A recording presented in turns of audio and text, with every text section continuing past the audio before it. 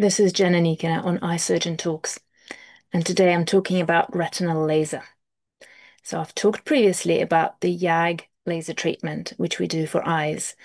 Today I'm going to be talking about what's called the argon laser treatment, or there are some other alternative laser uh, types, but all of them work on the retina. It's important to note that this is very distinct from the laser which people have to correct their vision, to get rid of glasses. That is called excimer laser, and it is another type of laser we use in ophthalmology.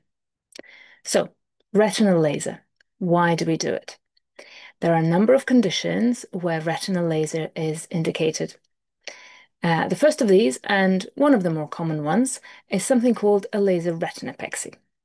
Uh, and this is where, uh, if you have a retinal tear developing, you may need to treat it to reduce the risk of retinal detachment.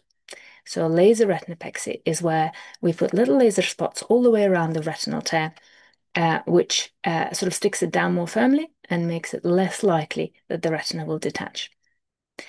The other type of retinal laser we commonly perform is for diabetic problems in the eye, and this is called PRP or pan-retinal photocoagulation.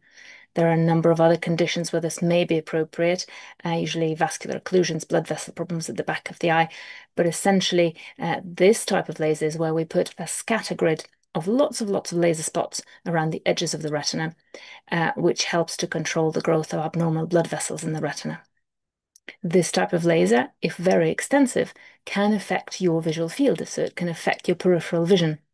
And so it's important to bear in mind that if you've had lots of PRP laser treatment, this may affect your driving ability because the driving regulations stipulate a certain amount of visual field which you need to have uh, in the periphery in order to be able to drive.